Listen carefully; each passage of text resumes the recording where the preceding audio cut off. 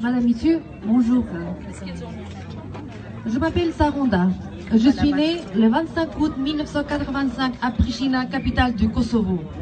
Depuis toujours, j'étais en admiration par Mère Teresa, par sa vie, ses œuvres, ses dévouements et son amour envers les autres. Tous qui l'ont côtoyé de près ou de loin sont restés marqués à vie par cette femme. Pour moi, c'était un peu la même chose, car elle a marqué ma vie d'une certaine manière, et cela depuis 2012. En effet, le 24 mars 2012, suite à un grave accident de voiture, ma famille fut réunie en vue de mon état critique. Il fut informé à mes proches que l'opération que j'avais subie suite à l'accident s'était bien déroulée, mais que malheureusement j'étais plongée dans le coma et qu'il sera très difficile que je sorte de ce sommeil. Tout comme il sera très difficile que je réussisse à marcher un jour. Car le médecin déclarait à ma famille ce jour-là que je resterai pour toujours tétraplégique sur un fauteuil électrique et qui peut-être une personne sur mille pouvait s'en sortir du coma, mais remarcher jamais. Il faudra un miracle, avait même déclaré le docteur. La présence et l'amour de Mère Teresa, je l'ai ressenti pendant toute la période de mon coma. Elle était là avec moi.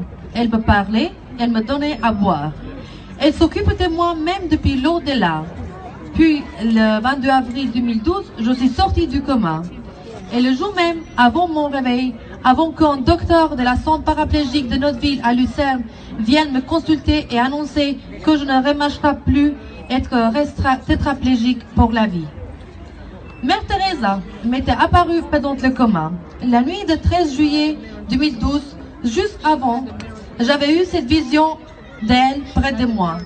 Elle avait un visage si doux, souriante et un chiffre 6 entouré de flammes. Me basant sur cette vision, j'ai alors répondu au docteur de me laisser six semaines. Six semaines pour me battre, refuser les antidépresseurs pour essayer, pour remarcher. Pendant cette période, j'ai prié toujours le Dieu et Mère Teresa. Je suis sortie de la centre paraplégique de notre ville le 16 novembre 2012, debout sur mes jambes. Et non le 22 décembre comme cela était prévu en fauteuil électrique. Aux docteurs qui m'ont dit que je ne remarcherais plus, que je ne pourrais même plus avoir un autre enfant, je réponds que le miracle apporte un autre miracle, car en 2015, j'ai eu ma deuxième fille. Dans cette vision que j'ai eue de Mère Teresa, elle m'a transmis le message que tout n'était pas fini, mais au contraire, que tout devait commencer maintenant, car j'avais encore beaucoup de choses à réaliser. J'avais moi aussi ma mission, celle de vivre, de remarcher et d'encourager les autres. Aujourd'hui, je peux remercier Mère Teresa d'avoir toujours été là et d'avoir écouté mes prières, car je marche, je vis, je m'occupe de mes filles Léa et Lyra. Grâce au miracle de Mère Teresa.